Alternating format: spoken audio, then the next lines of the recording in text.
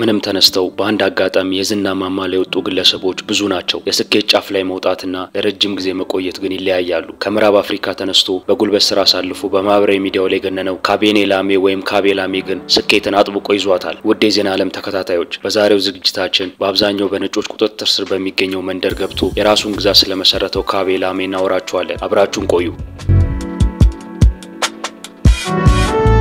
በማህበራዊ ሚዲያው ዘርፍ እውቅናን ማግኘት ለሁሉም ሰው የተፈቀደ አይደለም። ሰዎችን ሊያስተምሩ አሊያም ሊያዝናኑ የሚችሉ ጥራታቸውን የጠበቁ ስራዎችን ይዞ መቅረብ የግድ ይላል። ያ የማይሆን ከሆነ የተመልካቾችን ትኩረትም ሆነ ድጋፍ ማግኘት እጅግ አስቸጋሪ ነው። ትውልደ ሴኔጋላዊ ካቤ ላሜ ግን ይህን የሰዎች ክፍተት በሚገባ ተጠቅሞ ነው ወደ ዝና ማማ የተስፈነጠረው። ቀለል ያሉ የዕለት ተዕለት እንቅስቃሴዎቻችንን በአዝናኝ መልኩ ያለ ድምፅ በኮሜዲ መልክ በማቅረብ የአድናቂዎቹ ልብ ውስጥ መግባት ችሏል። ካቤ ላሜ እንደ አውሮፓውያን አቆጣጠር በ2000 ነበር በሴኔጋል መዲና ዳካር የተወለደው። በዳካር ይወለድ እንጂ በዛ ብዙ ጊዜ ማሳለፍ አልቻለም። በአንድ ዓመቱ አሁን ከዓለም ጋር ወደ አስተዋወቀችው ጣሊያን ከቤተሰቡ ጋር ተሰደደ። በጣሊያንም ከቱሪን በ20 ኪሎ ሜትር ርቃ በምትገኘው ቺቫሶ መንደር ከቤተሰቦቹ ጋር ከተመ። እድሜውም ለስራ ሲደርስ በአንድ መኪና ፋብሪካ ውስጥ ተቀጥሮ መስራት ይጀምራል። ከስራ ውጭ ባሉ ጊዜያት ላሜ ጨዋታ የሚወድ የተለያዩ ቦታዎችን እየተዘዋወረ ማየት የሚያስደስተው ልጅ እንደነበር አብሮ አደጎቹ ይናገራሉ። ይህ ዝንባሌው በኋላ ዓለም በደንብ እንዲያውቀው ወዳደረገው የኮሜዲ ስራ እንዲገባ እገዛ አድርጎለታል። በ2020 ዓለምን በሙሉ ያስጨነቀው የኮቪድ-19 ወረርሽኝ ሲከሰት ካቤ ላሜም የመኪና ፋብሪካ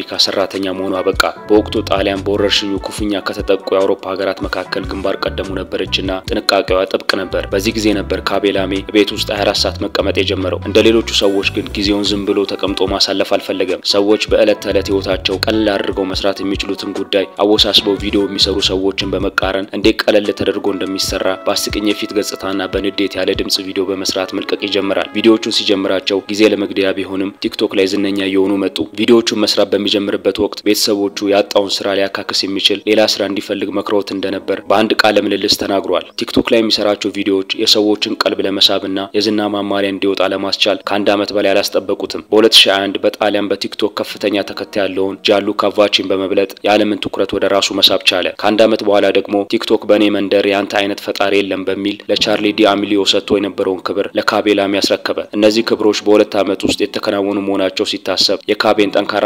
ሰራተኛነትና እድለኛነትን ፍንትው አድርገው ያሳያሉ። አሁን የ23 ዓመቱ ካቤ 159.7 ሚሊዮን ተከታዮች በቲክቶክ ያሉት ሲሆን በኢንስታግራም ደግሞ 71.9 ሚሊዮን ሰዎች ይከተሉታል። የፌስቡክ መስራችና የኢንስታግራም ባለቤት የሆነው ማርክ ዙከርበርግ ያሉት ተከታዮች 14 ሚሊዮን መሆናቸው ሲታሰብ የካቤ ላሜ ዝና ምን ያህል ተመንድጎ እንደተጓዘ ማሳያ ነው። ከኮሜዲ ስራዎች በተጨማሪ በሚጠቀምባቸው የማህበራዊ ሚዲያ ፕላትፎርሞች ላይ ተከታዮቹን የሚያበረታቱና ጥሩ እሳቤ እንዲኖራቸው የሚያስተምሩ መልእክቶችን በማስተላለፍም ጭምር በአድናቂዎቹ ልብ ውስጥ ቦታ እንዲኖረው አድርጓል። በስራዎቹም ተከታዮቹ ለራሳቸው ዋጋ እንዲሰጡ የሰዎችን ትችት እንዳይፈሩና በህይወት ውስጥ ባሉ ጥቃቅን ጉዳዮች ደስታቸውን እንዲፈልጉ በማበረታታትና ምሳሌ በመሆን ዝናውን እየተጠቀመበት ይገኛል። በቲክቶክና ኢንስታግራም ዝነኛ መሆን ከጀመረ ወዲህ የካቤ ላሜ ህይወትም ተቀይሯል። የእግር ኳስ ክለቦች ያስፈረሟቸውን ተጫዋቾች እንዲያስተዋውቅላቸው ሲያደርጉ፣ እንደ ቬኒስ የፊልም ፌስቲቫል ያሉ ደግሞ የክብር እንግዳቸው አድርገውታል። በጣሊያን የተሰጥኦ ውድድር ላይም የክብር ዳኛ በመሆን ብቅ እስከ ማለት ደርሷል።